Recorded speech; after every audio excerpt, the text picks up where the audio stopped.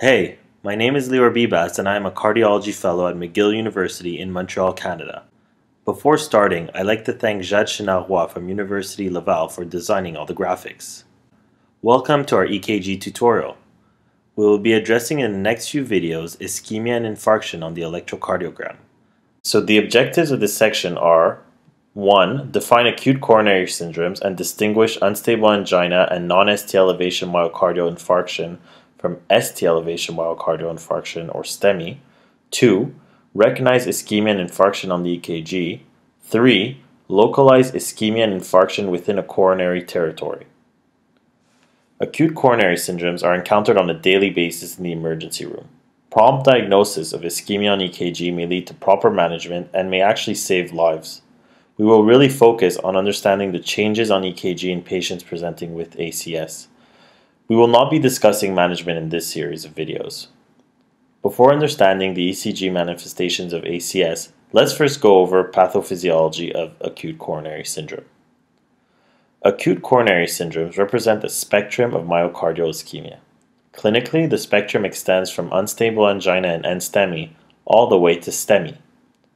What they have in common is their pathophysiology. Acute coronary syndromes are caused by an acute rupture of a coronary plaque with subsequent thrombus formation. Here is a section of a normal coronary with its three layers, the intima, the media, and the adventitia. With age and other risk factors, such as high cholesterol, hypertension, smoking, diabetes, a positive family history or genetic predisposition, coronary artery disease may develop with atherosclerotic plaque formation. These atherosclerotic plaques develop over years and are composed of macrophages and lipids. Some plaques may also be calcified. Over time, a plaque may progressively narrow the lumen without provoking any symptoms, seeing as the lumen remains for the most part patent. Acute coronary syndromes are caused by an acute rupture of a long-standing coronary plaque with subsequent thrombus formation and acute subtotal or total occlusion of the coronary artery. When the plaque ruptures or ulcerates, a cascade is triggered with platelet activation and the activation of the coagulation cascade. The resulting acute narrowing of the lumen by thrombus will cause myocardial ischemia.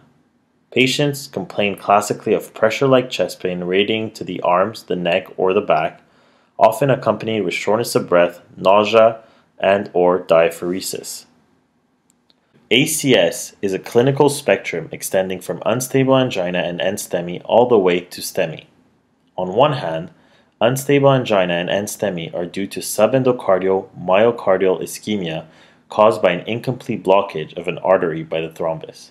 STEMIs, on the other hand, are caused by complete occlusion of an artery by a thrombus and subsequent transmural infarction.